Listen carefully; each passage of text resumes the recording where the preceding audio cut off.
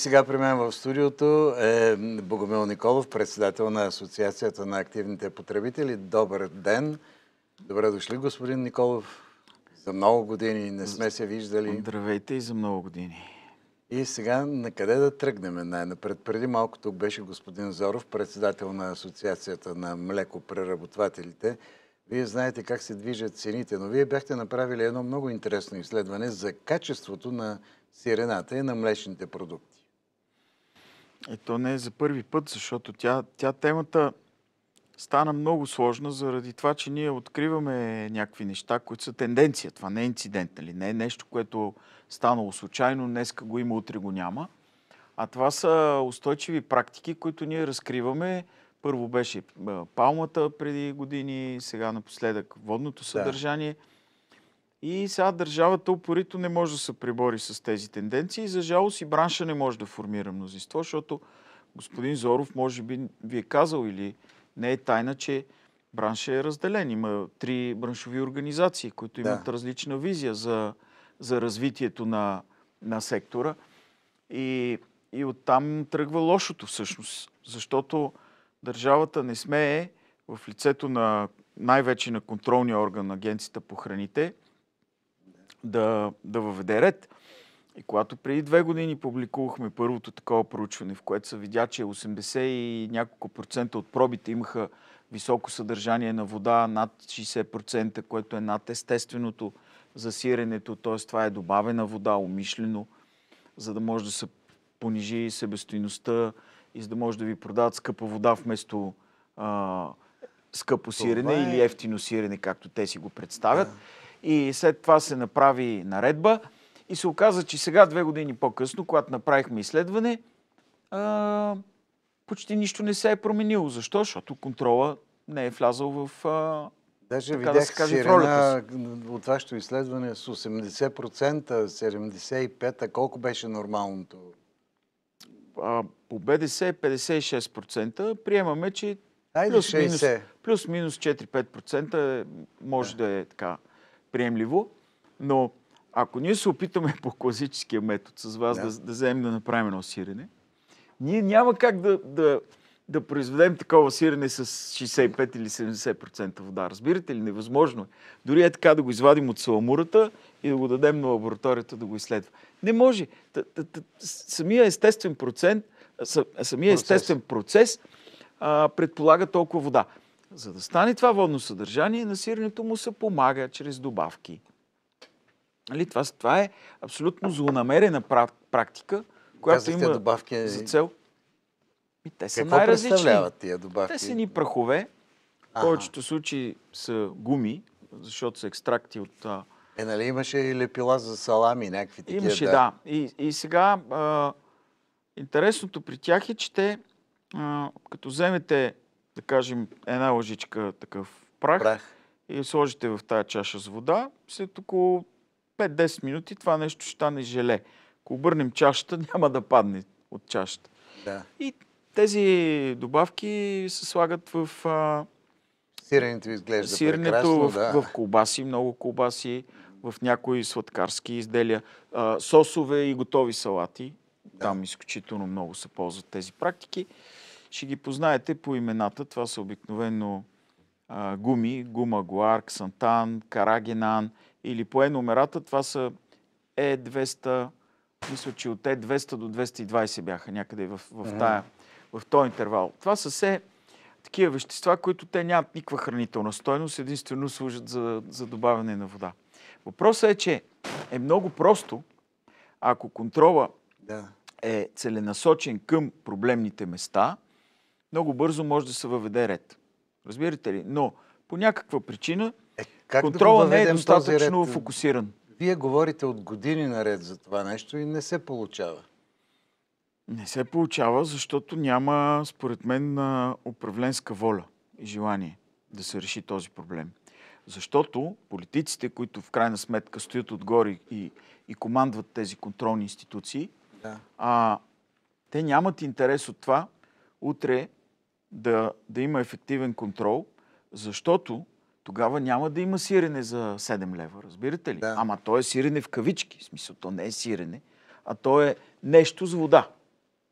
тогава много хора ще кажат, ало, какво стана, имаше сирене от 7 лева, пак с кавички, сирене, а сега вече стана, да кажем, 15 лева.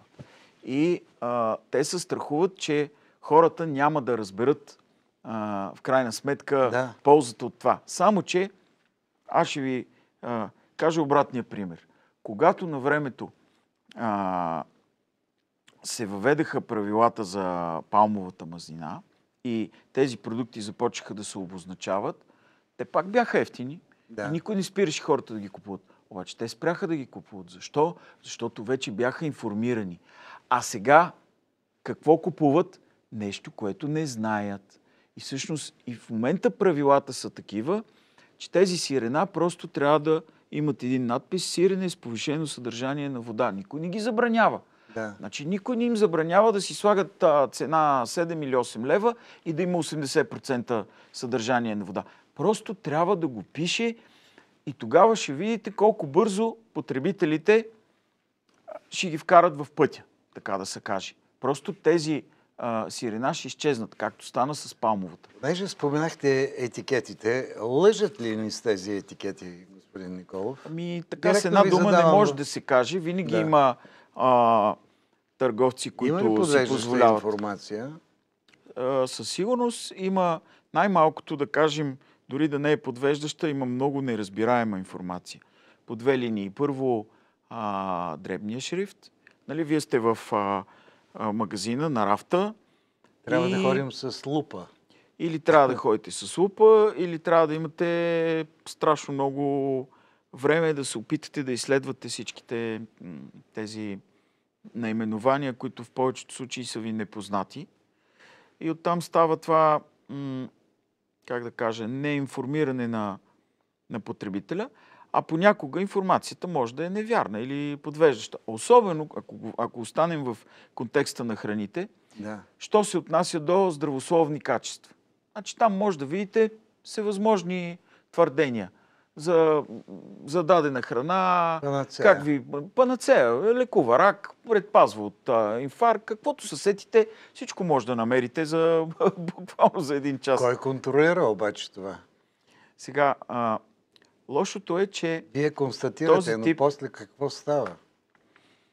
а, този тип твърдения, те са, м, регулират на европейско ниво и са на, на одобрителен режим. Тоест, ако вие сте производител Да. и правите нещо, което наистина има здравословни свойства, то вие може да кандидатствате за да ви впишат в един регистр на, на позволените такива твърдения и оттам насетне да си го слагате свободно на етикета, защото това е някакво доказано твърдение. В обратния случай обаче, ако то не е доказано, а, не би трябвало контролните органи а, да доказват, че то е вредно или най-малкото не е полезно, а обратно, този, който е поставил подобно твърдение, би трябвало, след като го няма в регистъра, той не е кандидатствал да, да бъде одобрен за да поставя такова здравословно твърдение, би трябвало да бъде губен и да бъде премахнат а, този надпис. Ама тук а, изниква и другия въпрос. Кой контролира това? По същия начин, както преди малко ви казах, контрола ни а, някак си е фокусиран върху м, административни процедури, а не върху фактите и съдържанието. Значи, ако влезете на а, страницата на Агенцията по храните, може да се отдавите в информация. Разбирате, и там ще видите регистър на люпилните, регистър на кокошки, носачки, как- каквото още ви, ви дойде на, на ум. Има го. А, а, разбирате ли? Гигабайти с информация, но тя не върши работа. На кого върши работа тази информация? Е, да. абсолютно безполезна. И в същото време, а, там където трябва да става контрола, а именно на рафтовете в магазина, при крайния продукт, при стоките, там той не е достатъчен или не е достатъчно добре фокусиран. Наскоро имахме разговор, понеже тук по празниците естествено се увеличиха оплакванията от развалена храна. Познайте откъде? От топлите витрини на супермаркетите. Ми да, защото те са най-рисковото място в един магазин е топлата витрина. Тъй като логично вътре храните се държат на определена температура, за, за да са а, топли. Обаче, ако тя е по-малко от 65 градуса, тази температура, то а, има риск за бърза развала на съответната храна. Да, да. И затова всеки един търговец трябва да има много точна процедура, по която да е ясно да има дневници в колко часа е поставена тази, да кажем, храна, а, салата на топлата витрина. Е, това трябва, колко ли, часа трябва може да, да бъде стои? на видно място, да, да бъде изписано на самия етикет, там, който се слага? Ами, за съжаление, не, няма такова законово изискване, но А би пак ви да казвам, има. Да. контрола, ако, ако осъществява такива а, достатъчно а, фокусирани проверки върху този проблем, а, това ще накара самите търговци да са много по-отговорни. Защото, вижте, изкушението е много, а, много близко. Да. Като не си продал тази храна и тя ти стои вече, да кажем, 5-6 часа, да не я изхвърлиш, или пък постоянно да добавяш друга лоша практика, да добавяш нова отгоре върху старата. И в един момент, естествено, че та- тази, която е останала стара и неизхвърлена, тя ще развали и другата. И това са неща, които мисля, че АБ на търговията. Не е космическа наука, но знаете ли какво се получава? Хората, които а, са жертва на такава практика, те обикновено пият една студена вода, попържат там малко, напишат някой гневен пост във Фейсбук и до там. Нали, те няма какво да направят особено. И затова, А какво прави и затова тази... много малко се знае за мащаба на това явление, колко често всъщност се случва.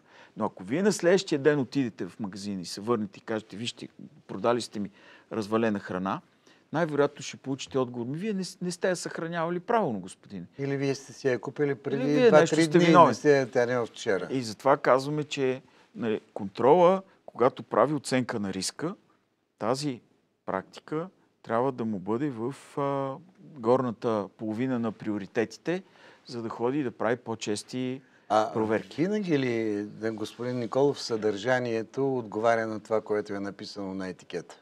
Еми, не винаги. Спомням си огромния скандал в Англия преди 5-6 години с конското месо, където имаше едни равиоли, Да. в които на етикета пише свинско, пък вътре откриха конско месо. И стана огромен скандал. Защото такива случаи са голяма рядкост. При нашите тестове ние редовно а, хващаме, така да се каже, отклонения, но не се произвежда а, чак такъв голям Да. скандал. Някакси приемаме го като... Обаче ние по- много рядко нормално. гледаме даже и срока на годност. А, тук има един друг проблем. Знаете, че Да. има два вида обозначаване. Годен до или а, най-добър до. Те Да. са различни. А, Те не означават разлика? огромна. Добре, Годен до, това е срок за трайност, за годност. да. След този срок, а, употребата на храната може да бъде опасно. Обикновенно с този тип а, обозначение се маркират а, храни, които са по-нетрайни или, или по-рискови. Като, Годен до. Да, месо, риба. Да. Сега, обаче ако погледнете етикетите на солети, на вафли, на бомбони и разни други такива подобни продукти, ще видите, че там пише най-добър до. Да, обаче най-добър до не означава, че след тази дата продукта не може да се консумира. Ако си купите един ориз или един пакет боб и на него пише най-добър до юни 23 година, това не означава, че през юни 24 година той не става за консумация. Може да няма същото качество, Но е малко да годен под- за употреба. той е Това не го знаех, да. Годен, годен. А, и много хора, като видят, а, те гледат само а, датата и директно изхвърлят. Продукти, които са напълно годни за, И аз съм правил за така. консумация. Сега го разбирам това. и в контекста да. на, на инфлацията и на нарастващите цени, трябва да ви кажа, че а, всеки човек, ако малко се умее да, така да си подреди консумацията, че да изхвърля по-малко храна, може да минимизира щетата от а, по-високите цени. Защото всеки път, всеки един такъв пакет или буркан, който изхвърляме в кофата, ние не си го представяме в пари. Нали? Не го обръщаме. Ако в този момент си кажеш, ето сега изхвърлям 5 лева в кофата и да си го напишеш на хладилника отгоре. И на другия ден изхвърляш още един буркан. Пише сега плюс 6 лева. И на края на месеца ще видите, че изхвърляте сигурно 50 лева в кофта. Защо? Защото не съхраняваме правилно, не, не умеем да пазаруваме толкова, отколкото имаме нужда. Сега тук и търговците имат известна вина с тези Защо? е, промоции за количество. Да. И вие виждате нещо, че ако купите там цял пакет, 6 броя или 10 броя, ще ви е по-ниска цената и естествено се изкушават. Купувате го, ама след това почвате ядете всеки ден едно и също. И то ви омръзва накрая. и го оставяте въгъла, то се разваля и накрая го хвърляте. И какво се оказва? Че всъщност тая отстъпка, която сте имали за количество, всъщност не е отстъпка, ами даже накрая ни е излязло и по-скъпо. И другия фактор е, казахме, а, означението, маркирането на срока на годност, като не се разбира и хората хвърлят. Най-добър и годен, И последния фактор е правилното съхранение. Има много начини, с които ако съхраняваме правилно продуктите, няма да ги изхвърляме. Класически пример е хляба. да. да. Да кажем, отиваме... Той често му хлясва. Често му клясва. Обаче отиваме петък, събота и неделя някъде, се връщаме в неделя вечер, хляба е му хлясва и го хвърляме. Да. Обаче малко хора знаят, че с едно движение може да го преместим в фризера. Хляба може да се замразява. Или в хладилника. в колкото по-студено, по-добре. И след като го размразите, той почти не си губи качествата. Или ако губи, те са много малко. Това е доста интересно. Ние изхвърляме много хляб. Всеки човек а, почти му се случва това нещо и всеки може да си подреди а, къщичката така, че да изхвърля по-малко храна. И по-малко пари по този начин. Да не говорим за местните продукти най-вече. Разбира се. Какво ще кажете? Имате ли, правите ли изследвания за тези вакуумирани салами и разни други такива неща?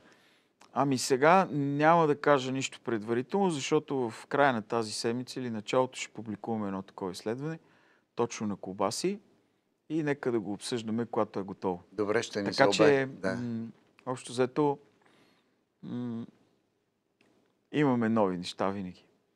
да. и Какво друго трябва да внимаваме? Казахме вече. Ами за- сега е много важно в контекста на инфлацията. Постоянно Да. обсъждаме тази тема по най-различни а, поводи и най-различни форми. Сега видяхме, че мобилните оператори започнаха да си индексират цените А, на, да. На договорите. Някакви такси допълнителни. Ами, темата беше актуална и миналата година, когато за първи път направиха такава индексация, но сега индексацията ще е по-голяма, Оправдават се с инфлацията. защото да. инфлацията е по-голяма. Важното, което трябва да знаем е, че това действие е напълно легално от тяхна Да. страна. А, такива инфлационни а, клаузи има в, в а, договорите на страшно много бизнеси.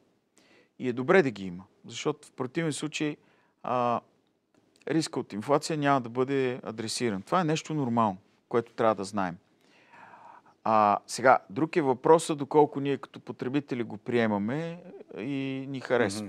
А, И, и особено начина по който ни го сервират. При предната година, точно преди коледа, дойде като честитка, така за, за весели Много празници, приятно, да. дигаме цените. Нали, много неприятно.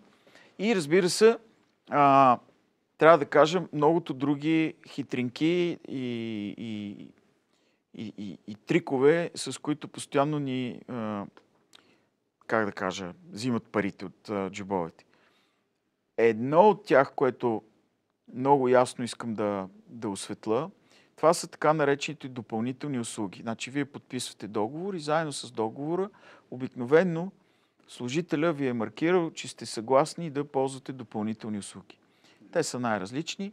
Обикновено имат някаква промоция, да кажем месец, два, три, може да са безплатни. След това започват за, една- за едната услуга левче на месец, за другата два, за другата три и така нататък. Вие не сте ги пожелали изрично, но на вас са ви ги включили. Голяма част от хората дори не знаят, че ползват такава услуга. Например, аз ви звъна и а, вместо сигнала свободно чувам някаква мелодия. Да. Това е услуга, която вие плащате. Ма вие въобще не знаете, че на мен ми свири мелодия, нали така? Защото вие Да. не го чуете, аз го чувам Да. това нещо. Тя ви е включена, е така, с там една да, чавка в договора и вие плащате левче на месец. Дали ще го забележите, дали няма да го забележите. Да Е, кажем, че от 1 милион души, половината ще го забележат, след това ще намерят как да го изключат, защото и това е много сложно, ако трябва да, да откриете как се спира. А, обаче половината няма да го забележат. Това значи, това че остава. когато аз извънна и ми тръгне музиката, в ухото аз вече съм платил една не, сума. аз плащам. А, За вие, това, да. което чувате вие. Аз не знам, че не вас ви свири музика. Така ли? Ами да. Ами то е така, да, когато човек... Или пък друга, или пък друга услуга, някакъв вид а, антивирус или защита там Да. в мрежата. Вие имате телефон с копчета. Да. И тя е абсолютно не, неприложима към вашия телефон. Ама те ви го включват и, и не ви питат. И особено са уязвими възрастните хора към този тип злоупотреби, които масово нито ползват интернет, те си ползват класическия телефон с копчета, за да говорят Да. по него. А, така че ние ще се опълчим срещу тази практика. Тя беше забранена, а, спомням си, преди повече от 10 години, а, така почнаха да правят авиокомпаниите. Слагаха някакви така наречените чекнати кутийки. Тоест, не ви питат това, че ви включват разни услуги. Сега това е същия принцип, само че трябва да видим как да се намери решение на това нещо. Ако аз харесвам тази услуга и желая да ви поздравя с любимата ми песен, когато вие ми звъните, и аз ви пускам, примерно, ария на Райна Кабайванска, защото много обичам Да. Райна Кабайванска, и по този начин вие получавате един вид поздрав от мен. Ама когато аз го пожелая да си го включа, нали, и да си го плащам. А не, когато ми го включат, без аз да съм разбрал дори. Добре, много ви благодаря, господин Николов. Най-скоро време продължаваме този е, разговор. Благодаря ви за ценните съвети, които ни дадохте и ви желая успех в новото изследване. Очаквам да, да го оповестите в най-скоро време. Съвсем скоро обещавам, ще бъде много интересно. Благодаря ви. Благодаря ви много. Сега е време за реклама.